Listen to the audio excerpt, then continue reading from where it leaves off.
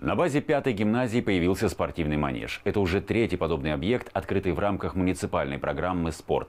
Подобное сооружение есть в школе номер 21 и в 42-м лицее. Дети уже успели опробовать в деле новый манеж и поделились с нашей съемочной группой впечатлениями.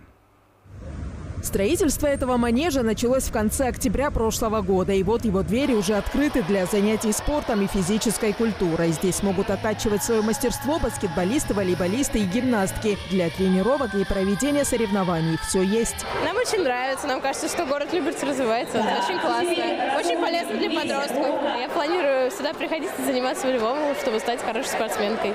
Классный манеж, хороший паркет, хороший кольца. Мне тут все нравится. Площадь физкультурно-оздоровительного комплекса 800 квадратных метров. Внутренняя инфраструктура манежа является общепринятой для всероссийских и мировых стандартов. В этом году это уже второй объект. Первый мы открывали в марте этого года. Это объект, который был представлен губернатору Андрею Юрьевичу Воробьеву. Андрей Юрьевич нас поддерживает как округ по всем нашим проектам спортивным, образовательным, социальным. У нас в этом году будет открыто еще два таких же спортивных комплекса. И все они открываются на территориях школ. От всей такой большой дружной компании нашей, гимназии номер 5, мы хотим поблагодарить за такой подарок.